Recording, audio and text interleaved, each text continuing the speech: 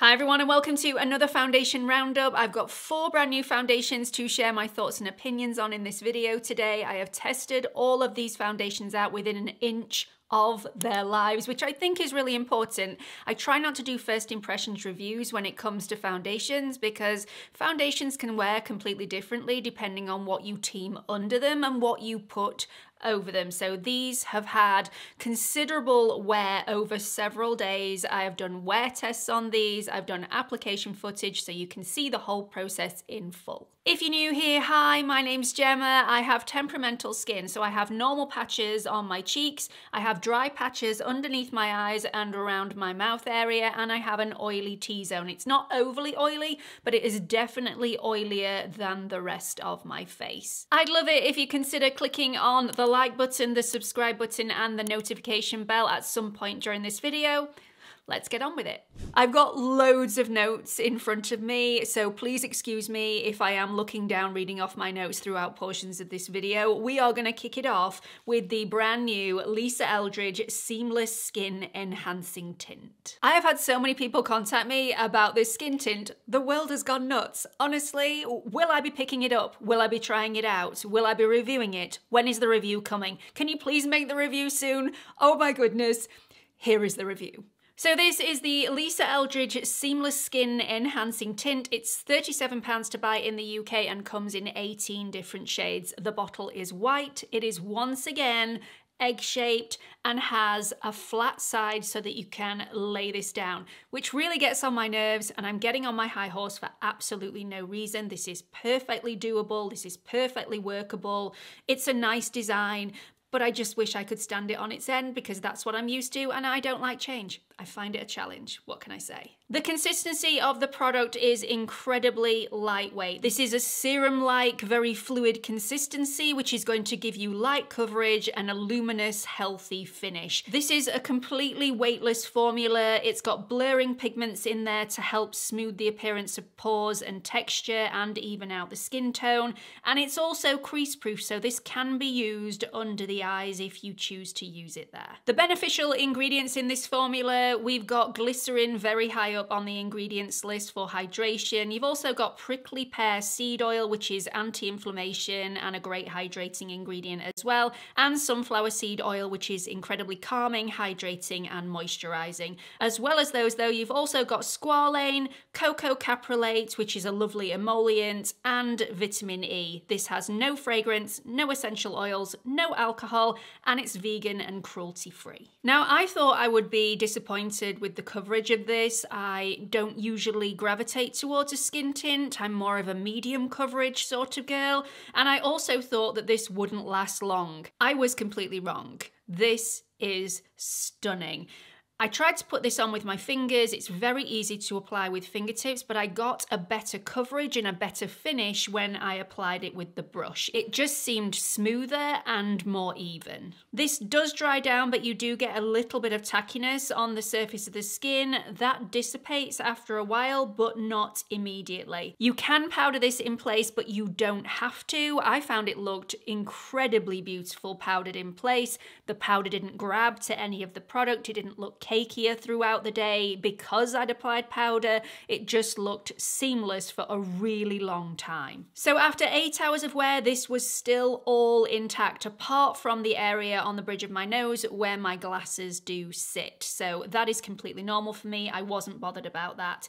It obviously wasn't as airbrushed at the end of the day as it was at the beginning of the day, but it still looked like skin. And the blurring effect that happened right at the very beginning when I first applied lasted a good few hours before the shine reduced that considerably. It still looked beautiful though. It's not one of those skin tints that looks sweaty by the end of the day. At least it didn't on me. This is such a beautiful formula and I didn't think I was going to like it as much as I actually do. This is the one that I gravitate towards throughout the weekend when I'm wanting to look a little bit more awake, a little bit more vibrant, a little bit happier in my complexion, but I don't want to full beat of makeup. It was so stunning. It's state of the art with the consistency, the texture, the wearability, and the fact that this blurs my pores, at least for a while until the shine comes through after a few hours, just blew me away. It's such a gorgeous, gorgeous formula, and um,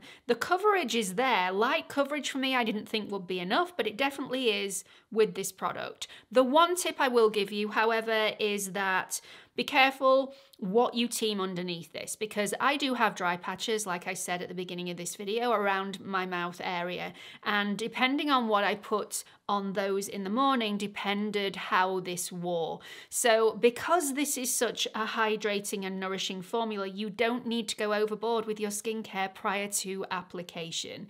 So I found that if I applied my usual skincare, which is incredibly hydrating and nourishing, this didn't last as long throughout the day. If I applied something very lightweight prior to application, this lasted all day on me, no issues whatsoever. So that is a bit of a tip. This is hydrating and nourishing enough. If you have seriously dry skin, and this wears off your skin really quickly, just bear that in mind for day two wear.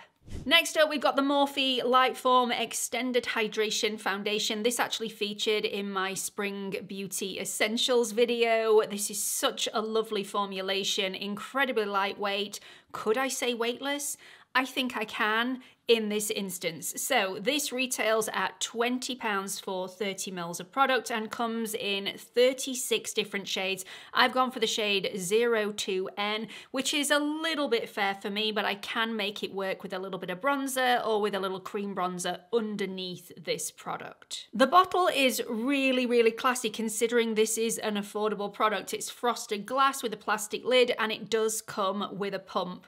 I did find it a little bit difficult to get the first pump out. I had to really push down very hard on the pump to actually release the formula. But once the first pump had released, it's been smooth sailing ever since. The consistency of the Morphe Lightform is slightly thicker than the Lisa Eldridge, so it is still very, very fluid, but it's slightly less serum-like, more like a loose foundation than a serum. This is going to give you medium buildable coverage with a skin-like natural finish. I do feel like the best way of application is with a brush for me. If I used a sponge, this was incredibly sheer coverage, so this can be sheared out if you want to. Just use a sponge. You can also use your fingertips, but like I said, I got the most even coverage and smoothest coverage with a brush. This is going to give you a really skin-like natural finish. It does look a little bit dewy right from the get-go, but that does dry down and a hint of that dewiness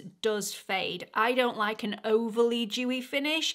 This was enough for me. It was very flattering on my skin, didn't sink into my fine lines, pores, any wrinkles. It was just beautiful. This is also a really long wearing formula, which actually surprised me because the consistency of the product and the way that it applies to the skin, I was expecting this to slide off my skin straight away, and it definitely didn't do that. It's alcohol free, fragrance and essential oil free, and it's also cruelty free and vegan. This was really easy to apply, although this does lift when it's touched, so it's definitely not transfer resistant. I would recommend powdering this in place or using a setting spray if you are a face toucher This may go a little bit patchy on you throughout the day, but it definitely wore very well on me. This lasts over eight hours, at least it did for me on every single time that I wore it. It gives nice even wear with no touch-ups whatsoever. So on each individual wear test day, I don't go in with powder, I don't go in with blotting paper, I let this run out as it would without touch-ups because I want each wear test to be as fair as physically possible. Just like the Lisa Eldridge skin tint, this didn't sink in or cling to any of my dry patches or sit in any fine lines. It did get shinier throughout the day, but it was a completely manageable shine. It didn't look overly sweaty. It didn't look like I'd had it on my skin for hours and hours and hours. It still looked quite fresh. It did oxidize a little bit though, but not very much. It may be an issue for some, it wasn't an issue for me. Moving on to the Louboutin Teint Fetiche Le Fluide Foundation. Check out the French on me. I probably got all that wrong, but I love this foundation. It is just superb on my skin. It costs £62 to buy in the UK and you get 30 mils worth of product. This comes in 29 different shades. I've gone for the shade 10N. I don't think I would have gone for 10N had it not been for one of my beautiful subscribers telling me that they are my shade twin and that is what they got and it was perfect for them. And it's definitely perfect for me also. It's really hard to choose your shade on the Louboutin website or on any other website because it has a photograph of all the shades on lots of different tones of arm and um, it looked really fair on the website and for that reason I'd have probably gone one up and it would have been completely wrong for me. So if you can get colour matched for this, if you are considering this, that would probably be your best option. Although, if you are my shade twin, 10N is the shade that you want to go for because it's just perfection. It's divine, absolutely stunning. Gotta say, I'm a little bit underwhelmed by the packaging of this. When it came, had I not ordered direct through the Louboutin website, I'd have thought this was a fake because the glass bottle is beautiful, but this plastic cap just looks like something out of a cracker. Strike me down if you disagree. It's just my opinion, but I just think this looks cheap and tacky, and I did not think that that would happen with my first Louboutin purchase. The consistency is a medium consistency. It's not ultra loose, but it's also not ultra thick either. Very easy to dispense over the skin, to blend out, to buff out. It's just a lovely foundation to apply. It's going to give medium buildable coverage and give you a luminous matte finish, which I think is incredibly flattering on my skin. The skin still looks like skin. It's not going to matte to a flat mat. It's not a drying formula. It's a beautiful, lightweight formula. You are going to feel it on the skin, so it's not completely weightless, but it definitely doesn't give you that thick foundation suffocating feeling either. This minimizes the appearance of my pores and smooths and evens my complexion. It's very, very comfortable to wear, like I said, lightweight and breathable. It's also transfer resistant and one pump of the formula is enough for me to do my entire face. So I do sometimes dispense the tiniest bit more if I want to build up over the acne scarring on my cheeks or if I have any particular imperfections on my face that I want to cover cover that day and just give it a little bit more of a boost. A tiny bit more is okay, but honestly, one pump is usually enough for me. So I wore this for 12 hours on one day and then forgot to do a wear test on it and check in with you all. Um, on the day that I did check in, I'd worn this for 10 hours, but I could have gone way longer. All of this is still intact on my face, apart from a tiny patch on the end of my chin, and that is not the fault of this foundation that would have ordinarily still been there, only Ralph and I were playing throughout the day and he accidentally scratched me with one of his claws and uh, not only took some of the foundation off my chin, but also took some of the skin off my chin as well, which was great, but not his fault. It was totally mine. This was a little bit shinier than it was on first application. What foundation isn't throughout the day, but it didn't go cakey. It didn't look heavy in areas. It wore very evenly throughout the day. No settling in dryness, fine lines. It, it's just superb.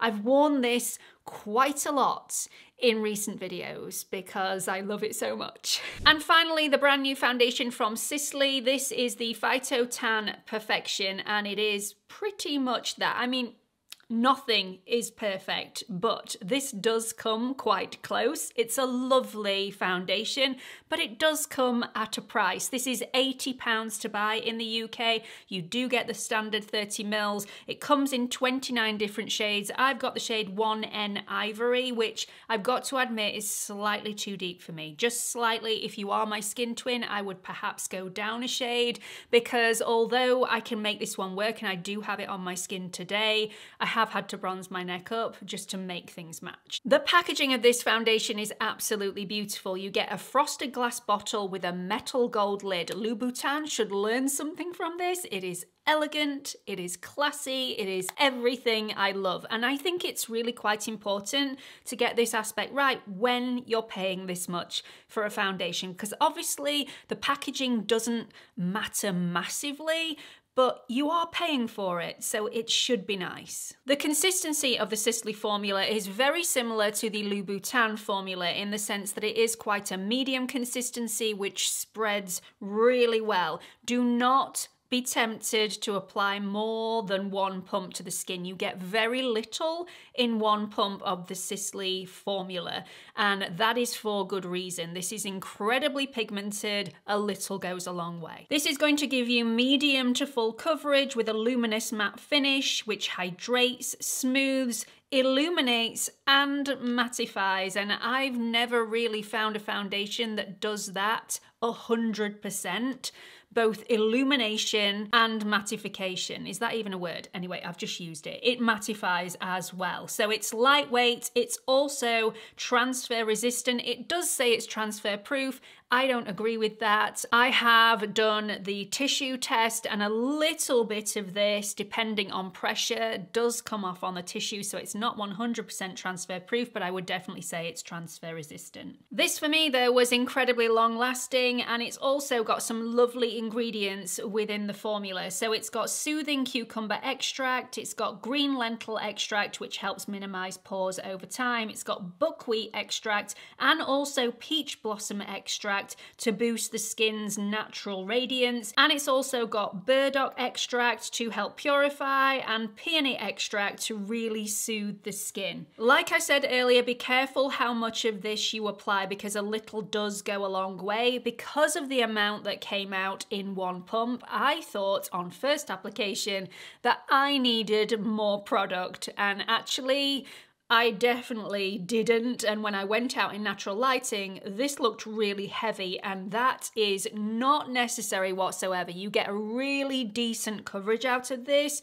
with very little product, and it looks skin-like. If you over-apply this, this very quickly looks very heavy. After 10 hours, however, all of this foundation was still intact on my face, and it didn't look overly shiny. This is definitely one of those foundations that helps to keep my natural oils at bay throughout the day and I was massively impressed by that. This did not budge at all. And considering this foundation does have mattifying properties in there, it didn't feel drying, sit in my dryness or emphasize my dryness throughout the day. The shade that I chose didn't oxidize on me. It also didn't look heavy on my skin throughout the day. Once I'd mastered application and once I knew that one pump was was definitely going to be enough for me.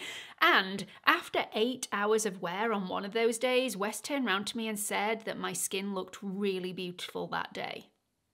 And that is enough for me. The Sisley foundation is alcohol free, but it does contain a fragrance. I once again, don't think that's overly dramatic. It actually smells like the signature YSL fragrance. It's got a little bit of cucumber in there. I actually find it quite pleasant. It's quite relaxing fragrance but it definitely is there. So if you are sensitive to fragrance, again, this is probably not going to be for you. So that's it, another foundation roundup done and dusted. I would love to hear your thoughts on any of the foundations that I've featured in this video today. If you've tried any of them out in the last couple of months, please share your experiences with the rest of the group in the comments section. Also, please don't forget to give this video a like, hit that subscribe button and the notification bell so you don't miss any future videos. Hope you've enjoyed it and hope to see you all in the next one. Bye everyone.